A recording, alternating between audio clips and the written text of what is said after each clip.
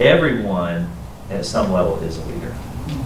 Now, many people are challenged by this reality because they don't always believe it. They think, well, I have to have a position of leadership to be a leader. And I would submit that nothing is farther from the truth because you know and I know people who have held leadership positions who've never led a day in their life. Right? So, mm-hmm.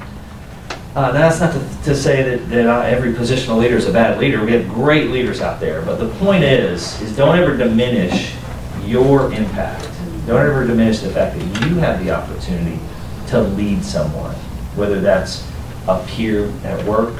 Maybe you are in a position of authority. And you have people that you know report to you, and you have an opportunity to influence them. Maybe it's at home. Maybe it's at church. Maybe it's in an organization where you volunteer. Maybe it's in the classroom. Mm-hmm. Right? So leadership, we're going to really unpack that and say, what is leadership?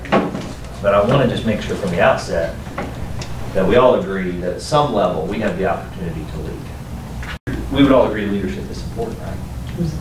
I think that it's important that we decide, you know, that we come to that agreement because we talk about leadership so much. Think about in our world, and you hear leadership talked about a lot. I think it's talked about, but often misunderstood. And I think it's misused. And these are all great answers. But unfortunately, there are people out there who lead who would say, yeah, that is a good list, that is important, and they would do the opposite. What would they do? Hold people back, Mm-hmm. seek power, diminish others. Manipulate.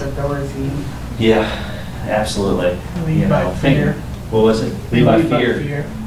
Create. Right?